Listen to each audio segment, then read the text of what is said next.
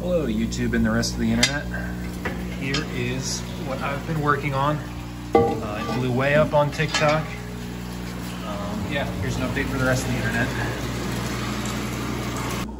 But yes, this is my underground eel pond. Um, so right now I've just got a canister filter going. Um, I will eventually have like a nice waterfall looking thing over here. Um, the water's been clearing up every day. I built this uh, walking path. There's all the fish there. Good still down here. They've been here since I've started working on this. Um, here's my island that's not finished yet. Uh, that's gonna be solid across there. Um, but yeah, waterfall there, the mountain aluminum ladder there, make that better, put handles. Um, we do have airlines ran. Um, there's airlines there, then airlines over there, so the air is constantly being put in.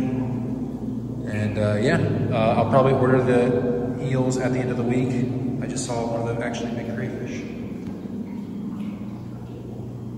Doing good down here. Get my flashlight and uh, get a better look at him. This is uh, first time I've seen him in a while. He uh, was just walking out because he's covered in the dust a little bit.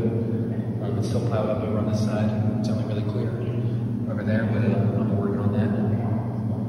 Yeah, I'll uh, put some food in for him, see if I can get him to eat there's the crayfish. There's two of these guys down here. And there's two dozen minnows and uh, one dozen goldfish right now.